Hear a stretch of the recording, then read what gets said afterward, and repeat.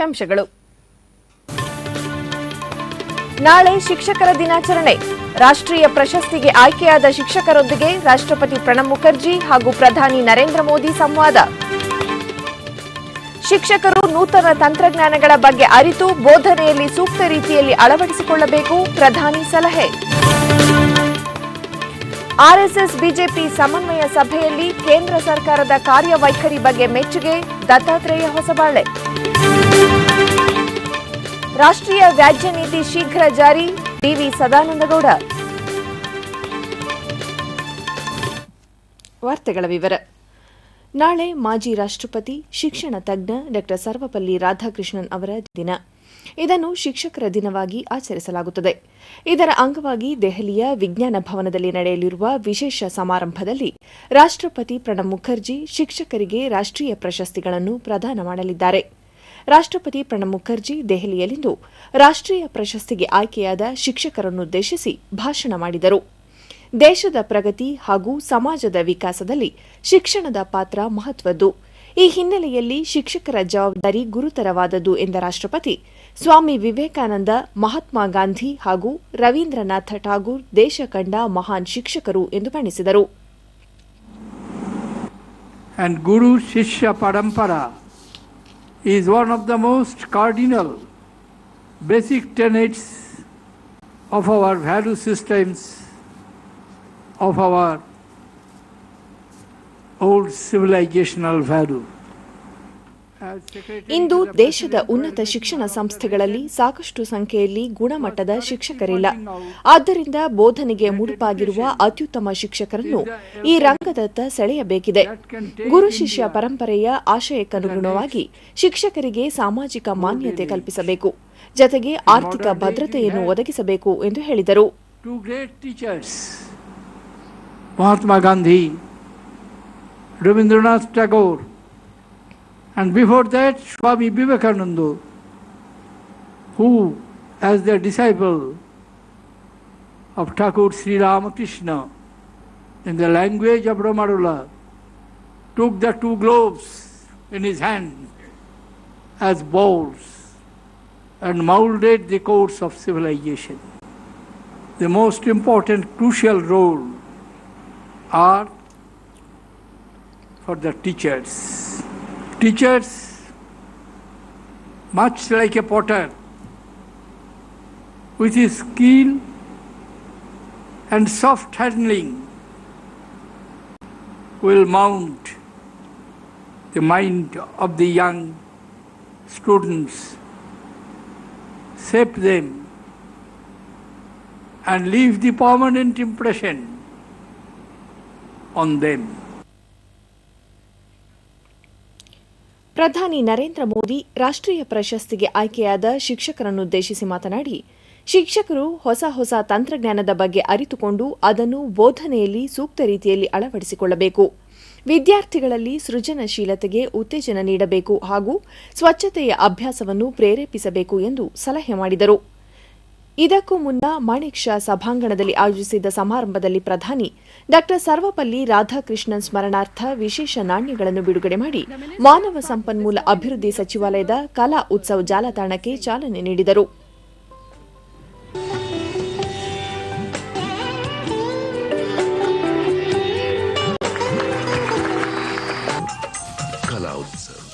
ವಿವಿಧ ಶಾಲೆಗಳ ವಿದ್ಯಾರ್ಥಿಗಳನ್ನುದ್ದೇಶಿಸಿ ಮಾತನಾಡಿ, ನಮ್ಮ ಜೀವನದಲ್ಲಿ ಗುರುವಿನ ಪಾತ್ರ ಮಹತ್ವದ್ದು. ತಾಯಿ ಜನ್ಮ ನೀಡಿದರೆ ಶಿಕ್ಷಕರು ಜೀವನ ನೀಡುತ್ತಾರೆ. ನಿಜವಾದ ಶಿಕ್ಷಕರು ಎಂದೂ ನಿವೃತ್ತರಾಗುವುದಿಲ್ಲ. ಡಾ. ರಾಧಾಕೃಷ್ಣನ್ ಅವರಂತೆ ಡಾ. ಎಪಿಜೆ ಅಬ್ದುಲ್ ಕಲಾಂ ಕೂಡ ಬೋಧನೆಯನ್ನು ಅಪಾರವಾಗಿ ಇಷ್ಟಪಡುತ್ತಿದ್ದರು. ವಿದ್ಯಾರ್ಥಿಗಳು ಶಿಕ್ಷಕರ ಮೇಲೆ ಹೊಂದಿರುವ ಗೌರವ ಹಾಗೂ ಶಿಕ್ಷಕರು ಬೋಧನಾ ವೃತ್ತಿಯ ಮೇಲೆ ಹೊಂದಿರುವ ಸಮರ್ಪಣಾ ಭಾವ ಎರಡು ಮುಖ್ಯ ಎಂದರು. ಶಿಕ್ಷಕರು ವಿದ್ಯಾರ್ಥಿಗಳನ್ನು ರೋಬೋಗಳನ್ನಾಗಿ ರೂಪಿಸಬಾರದು ಸಂವೇದನಾಶೀಲರನ್ನಾಗಿ ಬೆಳೆಸಬೇಕು ಎಂದು ಕಿವಿಮಾತು ಹೇಳಿದರು अपने भीतर को भीतर के शिक्षक को उन्होंने अमर बनाए रखा था कला के साथ सहजता से आती है और बिना कला के जीवन एक प्रकार से रोबोट सा बन जाता है इस कला उत्सव के माध्यम से हमारे स्कूल के जो बालक हैं उनको अवसर मिले उनकी प्रतिभा को निखारने। ದೇಶದ ಒಂಬತ್ತು ರಾಜ್ಯಗಳ ವಿದ್ಯಾರ್ಥಿಗಳೊಂದಿಗೆ ವಿಡಿಯೋ ಸಂವಾದ ನಡೆಸಿದ ಪ್ರಧಾನಿ ಮುಂದಿನ ಒಂದು ಸಾವಿರ ದಿನಗಳ ಒಳಗಾಗಿ ದೇಶಾದ್ಯಂತ ಹದಿನೆಂಟು ಸಾವಿರ ಹಳ್ಳಿಗಳಿಗೆ ವಿದ್ಯುತ್ ಸಂಪರ್ಕ ಕಲ್ಪಿಸಲು ಅಗತ್ಯ ಕ್ರಮ ಕೈಗೊಳ್ಳುವಂತೆ ಅಧಿಕಾರಿಗಳಿಗೆ ಸೂಚಿಸಲಾಗಿದೆ. ಎರಡು ಸಾವಿರದ ಇಪ್ಪತ್ತೆರಡರ ವೇಳೆಗೆ ದೇಶದ ಎಲ್ಲ ಮನೆಗಳಿಗೆ ದಿನಪೂರ್ತಿ ವಿದ್ಯುತ್ ಪೂರೈಕೆ ಮಾಡುವ ಗುರಿ ಹೊಂದಲಾಗಿದೆ ಎಂದರು. की दिशा में प्रयास हो रहा है Good morning, sir. Good morning. We, our team Pent- ನಗರಗಳಲ್ಲಿನ ತ್ಯಾಜ್ಯವನ್ನು ಎರೆಗೊಬ್ಬರ ತಯಾರಿ ಸೇರಿ ಹಲವು ರೀತಿಯಲ್ಲಿ ಆದಾಯ ಸಂಪನ್ಮೂಲವಾಗಿ ಪರಿವರ್ತಿಸಬಹುದು ಈ ನಿಟ್ಟಿನಲ್ಲಿ ಹಲವು ಕಾರ್ಯಕ್ರಮಗಳನ್ನು ಜಾರಿಗೊಳಿಸಿದ್ದು ನಗರ ಸ್ಥಳೀಯ ಸಂಸ್ಥೆಗಳಿಗೆ ಹೆಚ್ಚಿನ ಪ್ರೋತ್ಸಾಹ ನೀಡಲಾಗುತ್ತಿದೆ ಎಂದರು डेवलप कर लें तो स्वच्छता अपने आप आएगी मुझे इन दिनों कई लोग मिलते हो कहते हैं हमारे घर में हमारा पोता जो है तीन साल का है, लेकिन वो कूड़ा कचरा कहीं फेंकने नहीं देता है और बोले, मोदी मोदी करता है ये कार्यक्रम ऐसा है कि जिसका सब कोई समर्थन कर रहा है। आपने देखा होगा, मीडिया के लोगों ने इसको कितना आगे बढ़ाया है। अपने एडवर्टाइजमेंट का समय छोड़ करके, यानी कमाई छोड़ करके, वो स्वच्छता के लिए कैमरा लेके खड़े हो जाते हैं और कोई फेंकता है तो लेकर के फिर उसका इंटरव्यू करते हैं, उसको डरा देते हैं। अब ये लोक शिक्षा का जो काम हो रहा है दूसरा है व्यवस्थाएं ये बात सही है कि हमें वेस्ट मैनेजमेंट किए बिना हम अल्टीमेट सॉल्यूशन नहीं ला सकते ಪರಿಸರ ಅಸಮತೋಲನ ಹಾಗೂ ಕ್ರಿಮಿನಾಶಕಗಳ ಅತಿ ಬಳಕೆಯಿಂದಾಗಿ ಜಗತ್ತಿನ ಎಲ್ಲ ದೇಶಗಳು ಸಮಸ್ಯೆಗಳನ್ನು ಎದುರಿಸುತ್ತಿವೆ ಎಂದು ವಿದೇಶಾಂಗ ವ್ಯವಹಾರಗಳ ಸಚಿವೆ ಸುಷ್ಮಾ ಸ್ವರಾಜ್ ದೆಹಲಿಯಲ್ಲಿಂದು ಹೇಳಿದ್ದಾರೆ ವಿವೇಕಾನಂದ ಅಂತಾರಾಷ್ಟೀಯ ಪ್ರತಿಷ್ಠಾನ ಆಯೋಜಿಸಿದ್ದ ಹಿಂದೂ ಬೌದ್ಧ ಜಾಗತಿಕ ಸಮಾವೇಶವನ್ನುದ್ದೇಶಿಸಿ ಮಾತನಾಡುತ್ತಿದ್ದ ಅವರು ಭಾರತದ ನಗರ ಪ್ರದೇಶಗಳ ತಾಯಂದಿರ ಹಾಲಿನಲ್ಲಿ ಕ್ರಿಮಿನಾಶಕದ ಮಟ್ಟ ಹಸುವಿನ ಹಾಲಿಗಿಂತ ಹೆಚ್ಚಿನ ಪ್ರಮಾಣದಲ್ಲಿದೆ ಎಂದು ಅಧ್ಯಯನಗಳು ತಿಳಿಸುತ್ತವೆ ಇದು ಆತಂಕಕಾರಿ ಸಂಗತಿ ಎಂದು ಹೇಳಿದರು Today we are facing an alarming situation for the protection of our environment. In urbanizing India, the story is not very different. Several studies in urban India show that the levels of pesticide content in mother's milk is much higher than from that of cow's milk. We notice that the challenges in the developed countries are also very similar. ಈಗ ಜಾಹೀರಾತು ನಂತರ ವಾರ್ತಾ ಪ್ರಸಾರ ಮುಂದುವರಿಯುತ್ತದೆ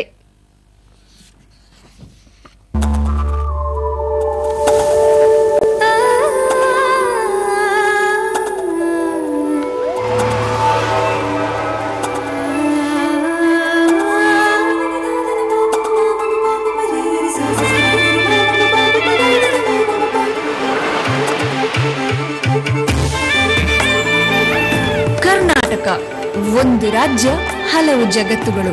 ಪಾಠ travel ಮಾರ್ಟನ್ನು ಆಯೋಜಿಸುತ್ತಿದೆ ನಮ್ಮ ಬೆಂಗಳೂರು.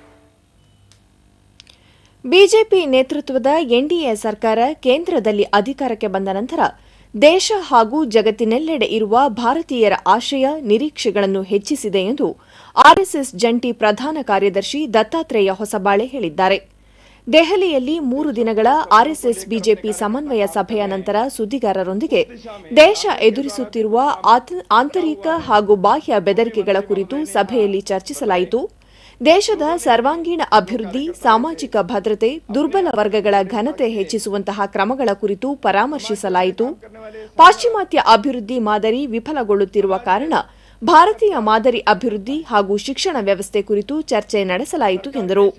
ಗ್ರಾಮಗಳಿಂದ ನಗರಗಳತ್ತ ವಲಸೆ ಹೆಚ್ಚುತ್ತಿದ್ದು, ಇದನ್ನು ತಡೆಯಲು ಗ್ರಾಮೀಣ ಪ್ರದೇಶಗಳಲ್ಲಿ ಉದ್ಯೋಗ, ಶಿಕ್ಷಣ, ಆರೋಗ್ಯ ಸೇವೆಗಳನ್ನು ಕಲ್ಪಿಸಬೇಕೆಂಬ ಬಗ್ಗೆ ಆಗ್ರಹ ಸಭೆಯಲ್ಲಿ ವ್ಯಕ್ತವಾಯಿತು ಎಂದರು.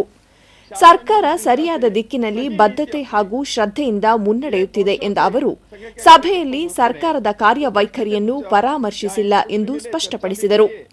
ಕೇಂದ್ರ ಸಚಿವರು ಸರ್ಕಾರದ ಕಾರ್ಯಕ್ರಮಗಳ ಬಗ್ಗೆ ಸಭೆಗೆ ಮಾಹಿತಿ ನೀಡಿದ್ದು ಸರ್ಕಾರಿ ರಹಸ್ಯ ಉಲ್ಲಂಘನೆಯಲ್ಲ ರಾಷ್ಟ್ರೀಯ ಸ್ವಯಂ ಸೇವಕರು ದೇಶದ ನಾಗರಿಕರು ಎಂದು ಹೇಳಿದರು ग्राम धीरे धीरे धीरे छोड़ रहे हैं गांव के जीवन से लोग शहर के तरफ भाग रहे हैं कारण क्या है कमाई पढ़ाई और दवाई इन तीन कारणों से गांव छोड़ रहे हैं लोग अच्छे आर्थिक कमाई चाहिए तो शहरों में जाना चाहिए, ऐसे हो गया है।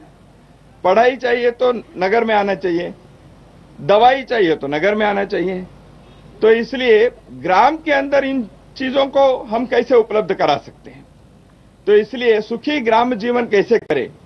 इसलिए आर्थिक संरचना, आर्थिक मॉडल क्या हो? इसके बारे में कार्यकर्ता अपने जीवन में जो अनुभव किए हैं और चिंतन भी है, उन्होंने विचार किया ಇಲಾಖೆ ಇಲಾಖೆಗಳ ನಡುವಿನ ವ್ಯಾಜ್ಯಗಳು ಹಾಗೂ ನ್ಯಾಯಾಲಯದಲ್ಲಿರುವ ಪ್ರಕರಣಗಳನ್ನು ಇತ್ಯರ್ಥಪಡಿಸುವ ನಿಟ್ಟಿನಲ್ಲಿ ಇನ್ನೊಂದು ತಿಂಗಳೊಳಗಾಗಿ ರಾಷ್ಟ್ರೀಯ ವ್ಯಾಜ್ಯ ನೀತಿ ಜಾರಿಗೆ ತರಲಾಗುವುದು ಎಂದು ಕೇಂದ್ರ ಕಾನೂನು ಸಚಿವ ಡಿವಿ ಸದಾನಂದಗೌಡ ಮಂಗಳೂರಿನಲ್ಲಿಂದು ಹೇಳಿದ್ದಾರೆ. ಈ ವಿಷಯಕ್ಕೆ ಸಂಬಂಧಿಸಿ ಈಗಾಗಲೇ ಅಂತರ್ ಸಚಿವಾಲಯ ಸಮಾಲೋಚನೆ ನಡೆಸಲಾಗಿದೆ. ಜತೆಗೆ ವಿವಿಧ ಇಲಾಖೆಗಳ ಕಾರ್ಯದರ್ಶಿಗಳೊಂದಿಗೆ ಸಭೆ ನಡೆಸಿ ನೀತಿಯನ್ನು ಪ್ರಧಾನಿ ಅವರಿಗೆ ಕಳುಹಿಸಲಾಗಿದೆ. ಅದನ್ನು ಸಚಿವ ಸಂಪುಟದ ಮುಂದಿಟ್ಟು ಅನುಮತಿ ಪಡೆಯಲಾಗುವುದು. ಇಲಾಖೆಗಳ ನಡುವಿನ ವ್ಯಾಜ್ಯಗಳಿಗೆ ನ್ಯಾಯಾಲಯದ ಹೊರಗೆ ಇತ್ಯರ್ಥಪಡಿಸಿಕೊಳ್ಳಲು ಹಾಗೂ ಈಗಾಗಲೇ ನ್ಯಾಯಾಲಯದಲ್ಲಿರುವ ಪ್ರಕರಣಗಳನ್ನು ಇತ್ಯರ್ಥಪಡಿಸಲು ಹೊಸ ನೀತಿಯಲ್ಲಿ ಕೆಲವು ಮಾನದಂಡಗಳನ್ನು ರೂಪಿಸಲಾಗಿದೆ ಎಂದರು. ಉಪಯೋಗಕ್ಕೆ ಬಾರದ ಒಂದು ಸಾವಿರದ ಮುನ್ನೂರು ಹಳೆಯ ಕಾನೂನುಗಳನ್ನು ತೆಗೆದುಹಾಕಲಾಗಿದೆ. ಇನ್ನು ಒಂದು ಸಾವಿರದ ಎಂಟುನೂರು ಹಳೆಯ ಕಾನೂನುಗಳನ್ನು ರದ್ದುಪಡಿಸಲು ನಿರ್ಧರಿಸಲಾಗಿದೆ ಎಂದು ಹೇಳಿದರು. ಈಗ ಕೋರ್ಟ್ ಅಲ್ಲಿರುವಂತದನ್ನು ಕೂಡ ಔಟ್ ಆಫ್ ಕೋರ್ಟ್ ಸೆಟಲ್ಮೆಂಟ್ ಮಾಡಲಿಕ್ಕೆ we have created certain parameters that we are taking care of ಅದೇ ರೀತಿಯಲ್ಲಿ ನಾವು ಸುಮಾರು ಸಾವಿರದ ಎಂಟುನೂರು ಅಬ್ಸೊಲ್ಯೂಟ್ ಲೋಸ್ ಅಂದರೆ ಭಾರಿ ಹಳೆಯ ಲಾ ಅದು ಇವತ್ತು ಊರ್ಜಿತದಲ್ಲಿದ್ದಂಥದ್ದನ್ನು ಕೂಡ ನಾವು ಈಗಾಗಲೇ ತೆಗಿಲಿಕ್ಕೆ ಪ್ರಯತ್ನ ಮಾಡಿ, ಮಾಡಿದ್ದೇವೆ. ನಾಲ್ಕು ಬಿಲ್ ಪ್ರೆಸೆಂಟ್ ಮಾಡಿದ್ದೇವೆ ಸುಮಾರು ಸಾವಿರದ ಮುನ್ನೂರು ಕಾನೂನುಗಳನ್ನು ಸ್ಟ್ಯಾಚ್ಯೂಟ್ ಬುಕ್ಕಿಂದ ಹಳೆ ಕಾನೂನುಗಳನ್ನು ತೆಗೆಯುವಂಥ ಕೆಲಸ ಕಾರ್ಯಗಳನ್ನು ಮಾಡಿದ್ದೀವಿ. ಬೀದರ್ ಜಿಲ್ಲೆಯ ಔರಾದ್ನಲ್ಲಿಂದು ಬಿಜೆಪಿಯ ರೈತ ಚೈತನ್ಯ ಯಾತ್ರೆ ಅಂಗವಾಗಿ ಸಮಾವೇಶ ಆಯೋಜಿಸಲಾಗಿತ್ತು. ಪಕ್ಷದ ರಾಷ್ಟ್ರೀಯ ಉಪಾಧ್ಯಕ್ಷ, ಸಂಸದ ಬಿಎಸ್ ಯಡಿಯೂರಪ್ಪ, ರಾಜ್ಯ ಸರ್ಕಾರ ಕುಂಭಕರ್ಣ ನಿದ್ರೆಯಲ್ಲಿದೆ, ಜನಹಿತವನ್ನು ಕಡೆಗಣಿಸಿದೆ, ರೈತರು ಸಹಕಾರ ಸಂಘಗಳಿಂದ ಪಡೆದಿರುವ ಸಾಲವನ್ನು ಈ ತಿಂಗಳ ಹದಿನೈದರೊಳಗೆ ಮನ್ನಾ ಮಾಡದಿದ್ದರೆ ಲಕ್ಷಾಂತರ ಕಾರ್ಯಕರ್ತರೊಂದಿಗೆ ವಿಧಾನಸೌಧಕ್ಕೆ ಮುತ್ತಿಗೆ ಹಾಕುವುದಾಗಿ ಎಚ್ಚರಿಕೆ ನೀಡಿದರು. ಇನ್ನು ಅಧಿಕಾರದಲ್ಲಿ ಮುಂದುವರಿಯುವಂತ ನೈತಿಕ ಹಕ್ಕಿಲ್ಲ ಅಧಿಕಾರ ಬಿಟ್ಟು ತೊಲಗಿ ಅನ್ನೋದಕ್ಕೋಸ್ಕರ ಈ ರೈತ ಚೈತನ್ಯ ಯಾತ್ರೆಯನ್ನು ಮಾಡ್ತಾ ಇದ್ದೇವೆ. ರಾಜ್ಯದಲ್ಲಿ ಒಟ್ಟು ಕಳೆದ ಮೂರು ಸಂಸದೆ ಶೋಭಾ ಕರಂದ್ಲಾಜೆ ರಾಜ್ಯದಲ್ಲಿ ನಾನೂರ ಮೂವತ್ತು ರೈತರು ಆತ್ಮಹತ್ಯೆ ಮಾಡಿಕೊಂಡಿದ್ದಾರೆ. ಅದರಲ್ಲಿ ಕೇವಲ ಎಂಬತ್ತಾರು ಮಂದಿಗೆ ಮಾತ್ರ ಪರಿಹಾರ ನೀಡಲಾಗಿದೆ. ಬರಗಾಲ ಕುಡಿಯುವ ನೀರಿನ ಸಮಸ್ಯೆಯ ಬಗ್ಗೆ ರಾಜ್ಯ ಸರ್ಕಾರ ದಿವ್ಯ ನಿರ್ಲಕ್ಷ್ಯತೆ ವಹಿಸಿದೆ ಎಂದು ದೂರಿದರು. ಬರಗಾಲ ತಾಂಡವಾಡ್ತಾ ಇದೆ. ಇವತ್ತು ಸರ್ಕಾರವೇ ಘೋಷಣೆ ಮಾಡಿದೆ, ನೂರ ಮೂವತ್ತೈದು ತಾಲೂಕಲ್ಲಿ ಭೀಕರವಾದ ಬರಗಾಲ ಇದೆ ಅಂತ ಸರ್ಕಾರ ಘೋಷಣೆ ಮಾಡಿದೆ. ಆದ್ರೆ ಈ ಬರಗಾಲ ಕಾಮಗಾರಿಗಾಗಿ ಸರ್ಕಾರ ಕೈಗೊಂಡಂತ ಕ್ರಮ ಏನು? ಆನೇಕಲ್ನಲ್ಲಿ ಆಯೋಜಿಸಿದ್ದ ರೈತ ಚೈತನ್ಯ ಯಾತ್ರೆಯಲ್ಲಿ ಬಿಜೆಪಿ ರಾಜ್ಯಾಧ್ಯಕ್ಷ ಪ್ರಹ್ಲಾದ್ ಜೋಶಿ ಸೇರಿದಂತೆ ಹಲವು ಮುಖಂಡರು ಭಾಗಿಯಾಗಿದ್ದರು.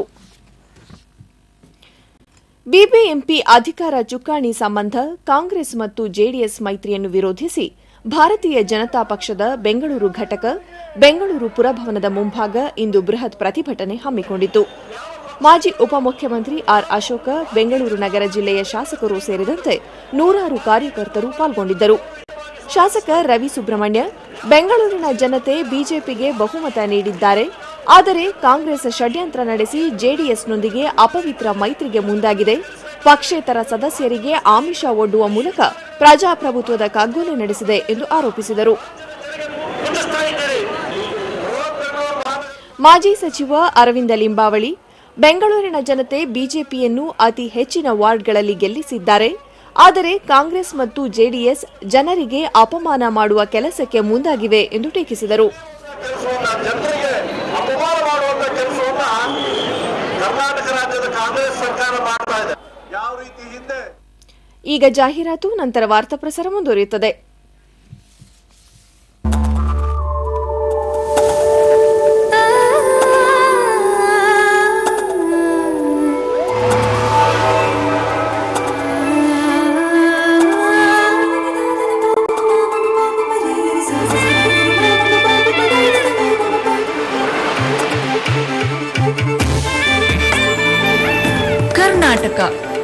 ಒಂದು ರಾಜ್ಯ ಹಲವು ಜಗತ್ತುಗಳು.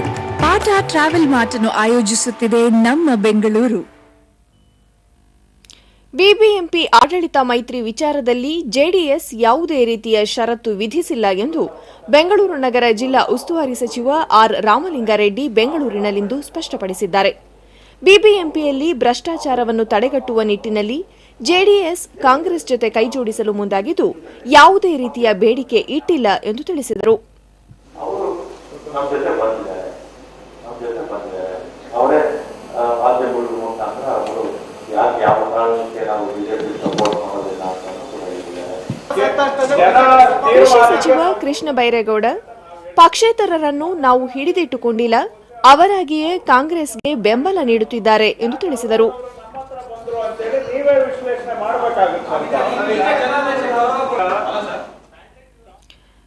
ಖಾಸಗಿ ಶಾಲೆಗಳಿಂದಾಗಿ ಸರ್ಕಾರಿ ಶಾಲೆಗಳು ಮುಚ್ಚುವ ಪರಿಸ್ಥಿತಿ ನಿರ್ಮಾಣವಾಗಿರುವ ಸಂದರ್ಭದಲ್ಲಿ ಚಿತ್ರದುರ್ಗ ಸಮೀಪದ ಕುತ್ತಿನಾಡು ಗ್ರಾಮದ ಕುವೆಂಪು ಮಾದರಿ ಸರ್ಕಾರಿ ಹಿರಿಯ ಪ್ರಾಥಮಿಕ ಶಾಲೆ ವಿಶಿಷ್ಟ ರೀತಿಯಲ್ಲಿ ಕಾರ್ಯನಿರ್ವಹಿಸುತ್ತಿದೆ.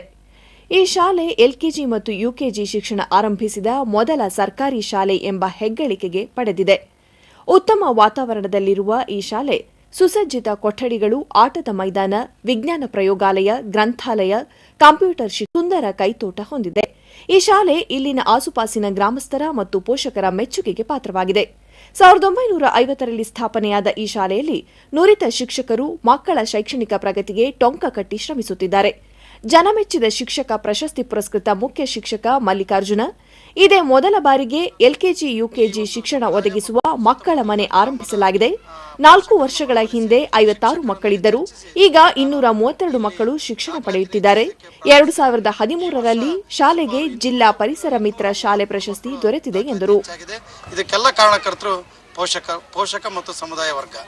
ಮತ್ತೆ ಇಲ್ಲಿ ಸುತ್ತಮುತ್ತಲಿನ ಜನ ಏನಕ್ಕೆ ಆಕರ್ಷಣೆ ಆಗಿದೆ ಅಂದರೆ ನನ್ನ ಶಾಲೆಯ ಸೌಂದರೀಕರಣ ಗಿಡ ಮರ ಪರಿಸರ, ಆಮೇಲೆ ಕಂಪ್ಯೂಟರ್ ಕಲಿಕೆ, ಆಮೇಲೆ ಸಾಪಟ್ಟೆ ಚಟುವಟಿಕೆ ಇನ್ನು ಇತರ ಅನೇಕ ಚಟುವಟಿಕೆಗಳನ್ನು ಶಾಲೆ ಹಮ್ಮಿಕೊಂಡು ಮಕ್ಕಳ ಅಭಿವೃ, ಜ್ಞಾನ, ಜ್ಞಾನದ ಅಭಿವೃದ್ಧಿಗೆ ನಾವು ಶ್ರಮಿಸುತ್ತಿದ್ದೇವೆ. ಉಡುಪಿಯಲ್ಲಿ ನಾಳೆ ನಡೆಯಲಿರುವ ಶ್ರೀ ಕೃಷ್ಣ ಜನ್ಮಾಷ್ಟಮಿ ಕಾರ್ಯಕ್ರಮಕ್ಕೆ ಭರದ ಸಿದ್ಧತೆಗಳು ಸಾಗಿವೆ.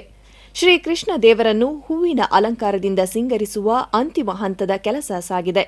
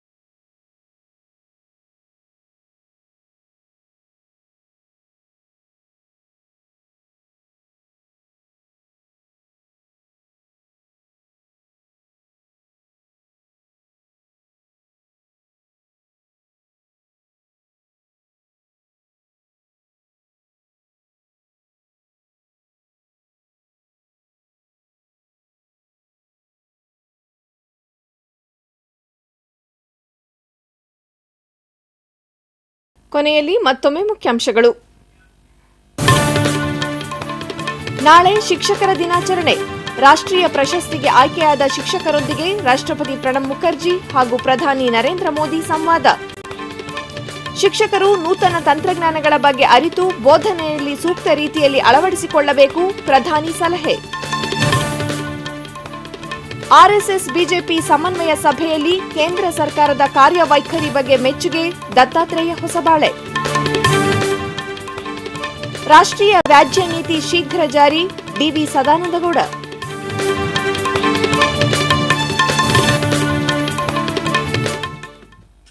ಇಲ್ಲಿಗೆ ಇಂದಿನ ವಾರ್ತಾ ಪ್ರಸಾರ ಮುಕ್ತವಾಯಿತು ನಮ್ಮ ಮುಂದಿನ ವಾರ್ತಾ ಪ್ರಸಾರ ನಾಳೆ ಬೆಳಗ್ಗೆ ಏಳು ಗಂಟೆ ನಲವತ್ತೈದು ನಿಮಿಷಕ್ಕೆ ಡಿಡಿ ಒಂದು ಹಾಗೂ ಚಂದನದಲ್ಲಿ. ನಮಸ್ಕಾರ.